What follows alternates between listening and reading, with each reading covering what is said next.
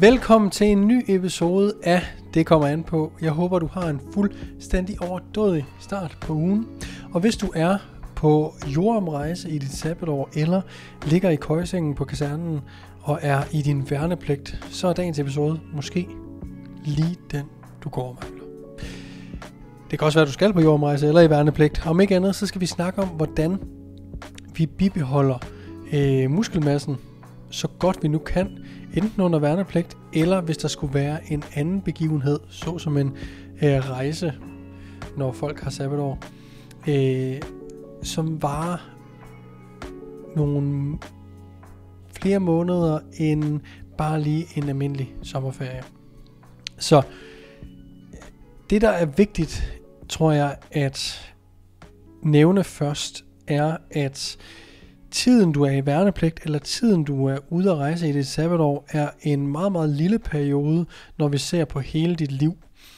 Og det kan godt være, at du lige har forelsket dig i at træne, og gerne vil ligne øh, Arnold Schwarzenegger eller Morten N.P. Øh, men hvad end du kommer til at miste af gains, hvis du ikke træner i den periode, vil du lynhurtigt kunne øh, gaine igen, når du kommer hjem i en normal træningsrutine. Så lad være med at stress over, at du har fået en masse gains øh, indtil nu, og føler, at åh nej, det hele er bare slut, og alt er bare tabt. Det er aldrig øh, tabt. Du har lært at øh, træne bedre, teknikken er bedre, der er muscle memory, der er mange ting, som du har erfaret dig, og du har gainet i den periode, hvor du startede med at træne, til nu, hvor du enten skal i værnepligt, øh, jordrejse eller andet, som holder dig fra en fast træningsrutine i en længere periode.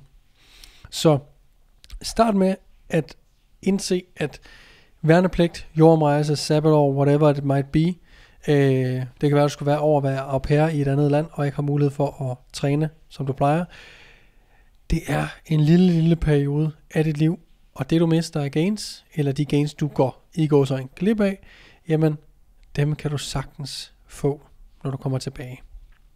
Men når du så er afsted, og du gerne vil bibeholde de resultater, du selvfølgelig har arbejdet super hårdt for at få inden din værnepligt eller lignende, jamen det første vi skal sørge for, det er at holde proteinindtaget øh, i godsøjen højt. Og med højt mener jeg bare, at vi gerne vil spise den samme mængde protein, som vi gør, når vi styrketræner.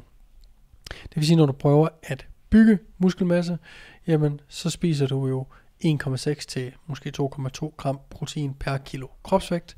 Så sørg for, at du rammer minimum den der 1,6. Du behøver ikke komme op og ramme 2 gram øh, protein per kilo kropsvægt.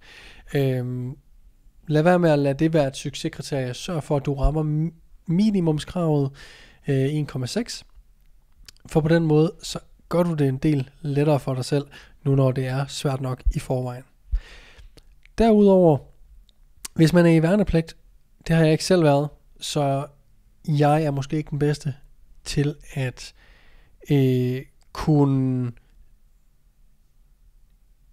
ikke rådgive, men fortælle dig, hvor meget der bliver lavet af fysisk aktivitet, og hvor hårdt det er at være i værnepligt. Men jeg antager, at man er ude og er fysisk aktiv og skal bruge sin krop både øh, styrkemæssigt med at bære rundt på tunge ting. Så hvis du får nok protein, og øh, du er fysisk aktiv i de øvelser, I nu laver osv., jamen hey, så vil du bibeholde øh, noget muskelmasse allerede der. Jeg ved også, at øh, der selvfølgelig er træningsfaciliteter, og om ikke andet, så er der nogle tidspunkter, hvor du er hjemme, og du har mulighed for at træne i nogle weekender eller nogle pauser, så sørg for, at du træner så meget du nu kan. Og lad være med at blive helt surmulet over, at det ikke er særlig meget. Hvis det er én træning om ugen, eller hvis det er tre træninger om ugen, så er det rent faktisk nok til at bibeholde meget af den muskelmasse, som du har. Her er det bare vigtigt at forstå, at du ikke har særlig mange en chancer til at træne, så er det super vigtigt, at hver gang du har muligheden for at træne, så gør du det. Og så træner du måske også hele kroppen, medmindre du ved, at du har to dage lige i streg. Så kan du jo køre op og lower.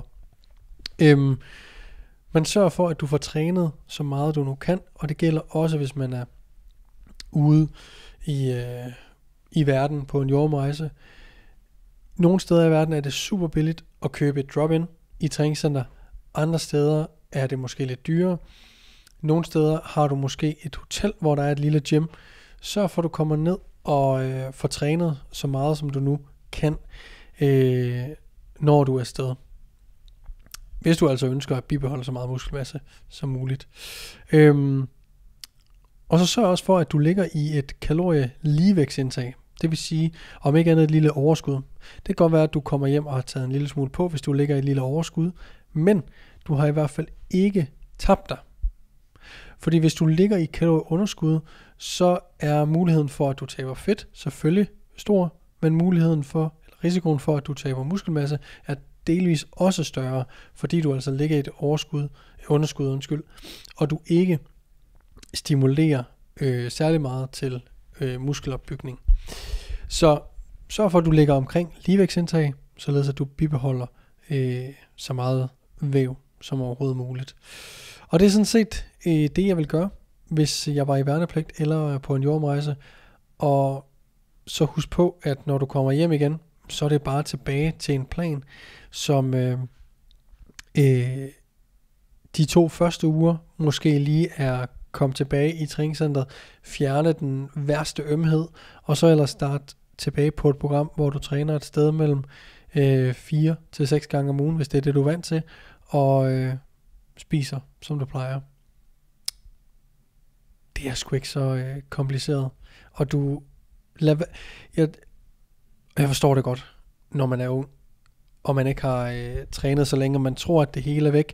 Man skal også huske på, at hvis man ikke træner i en periode, hvis man ligger syg, med det samme du træner efter en, øh, en sygdomsperiode, hvor du måske ikke har trænet i 10 dage, fra den ene dag til den anden, så ser du mere buff ud, fordi at når vi træner, så kommer der væske ind i musklerne, og dagen efter, så de her, der er cellerne inde i musklerne, øh, de, øh, der er det, der hedder cell swelling. Hvad er swelling på dansk? Det er opsvulmende. Så de svulmer en lille smule op, om ikke andet. Og du ser en lille smule mere buff ud, bare fordi du har trænet en gang. Så når vi ikke træner længe, så kan vi godt se meget flade ud. Øh, ligesom en, en øh, festballon, der har ligget natten over og ser sådan lidt rynket ud. Øh, vores muskler kan godt blive lidt flade at se på. Så det er ikke altid, fordi vi mister muskelmasse. Det er bare, fordi vi ikke er inde i en rutine, hvor vi styrketræner regelmæssigt, at vi ser lidt mere utrænet ud, eller som om vi har tabt noget muskelmasse, hvor vi må, måske ikke har tabt noget overhovedet, om ikke andet meget mindre, end vi tror. Så gør det, hvis du er i værnepligt eller øh, lignende, og øh, så tusind tak, fordi du lyttede med. Ha' en dejlig uge. Peace.